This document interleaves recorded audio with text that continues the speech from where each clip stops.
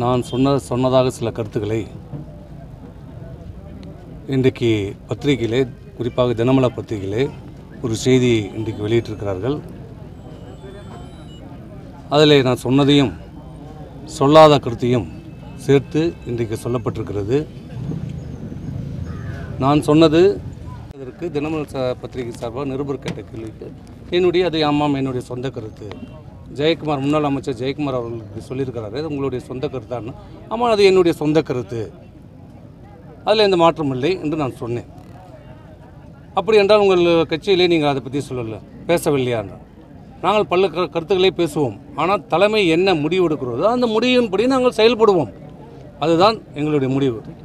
பாரதிய ஜனதா கட்சியிலே இப்படி சொல்லியிருக்கிறார்கள். அது அவருடைய கருத்து. அவருக்கு என்னுடைய கருத்தை நான் சொல்கிறேன் அவருடைய கருத்தை அவர் நான் சொல்லுகிறேன். இதுதான் நான் சொன்னது. ஆனால் இன்றைக்கு தினமலர் பத்திரிகையிலே நான் அந்த பத்திரிகையை கூட குற்றம் சாட்ட மாட்டேன். அந்த நிருபரை தான் நான் குற்றம் சாட்டுவேன். தவறான தகவலை அந்த நிர்வாகத்துக்கு கொடுத்துருக்கிறார். ஒருங்கிணைப்பாளர் சொன்னதை நான் மறுத்ததாகவும் ஒருங்கிணைப்பாளர் சொன்ன கருத்து சொந்த கருத்து என்று நான் சொன்னதாகவும் நான் சொல்லாததை சொன்னதாக திருத்தி தவறான ஒரு செய்தியை இன்றைக்கு வெளியிட்டிருக்கிறார்கள். இது தவறு இது கண்டிக்கக்கூடியது என்பதை நான் தெரிவித்துக் கொள்கிறேன். சார் இது ஓபிஎஸ் உடைய மகன் இது- எம்பி இது மினிஸ்டர் பதவி கிடைக்கக்கூடாதுன்றதுனால தான் நீங்கள் இது மாதிரி பேசுங்க சொல்லுங்கள் ஒரு மகிழ்ச்சியும் சந்தோஷத்தையும் கௌரவத்தையும் கொடுக்கிறதோ அதே போன்று எனக்கும் தனிப்பட்ட முறையிலே மயிலம் தொகுதி வெற்றி பெற்றதில் மிகப்பெரிய ஒரு மகிழ்ச்சி. ஏன்னா நானும் உங்களை சேர்ந்தவன் தான் இந்த தொகுதியை சேர்ந்த மயிலம் தொகுதியை சேர்ந்தவர். என்ற முறையில் இந்த தொகுதி வெற்றி பெற்றதில் உண்மையிலே மனமாற உங்களை எல்லாரும் பாராட்ட கடமைப்பட்டிருக்கின்றேன். வசதி கிணறுகள் போடுவது குளங்களை ஏரிகளை தூர்வாருவது இப்படி பல்வேறு பணிகளில் கிட்டத்தட்ட நூறு கோடி ரூபாய்க்கு மேலே இந்த தொகுதிகளுக்கு வழங்கியிருக்கிறேன். இந்த தொகுதியில. ஆனா அத்தனை பணியும் இந்த ஆட்சி மாற்றம் ஏற்பட்டு இந்த அறுபது நாட்களில் எல்லா பணிகளும் இன்றைக்கு நிறுத்தப்பட்டிருக்கிறது. நிறுத்தப்பட்டிருக்கிறது. என்ன காரணம்? ஆட்சி மாற்றத்திற்கும் அடிப்படை பணி பணிகள் தொடர்வதற்கும் என்ன கா- நிறுத்துவதற்கு என்ன காரணம்?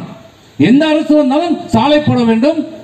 கிராமத்துக்கு தேவையான அனைத்து அடிப்படை வசதிகளை செய்துகின்ற பணிகளை செய்து கொடுக்க வேண்டும். அந்த பணிகளை நம்முடைய அரசு நூறு கோடி ரூபாய்க்கு மேலாக இந்த தொகுதியிலே கொடுத்திருக்கிறது. அத்தனை பணிகளும் இந்த அரசு இந்த மாவட்ட நிர்வாகம் இன்றைக்கு நிறுத்தி இருக்கிறது காரணம் கேட்டா என்ன சொல்றாங்க? இல்ல திமுக காரன் அவங்க ஆட்சிக்கு வந்துட்டாங்க.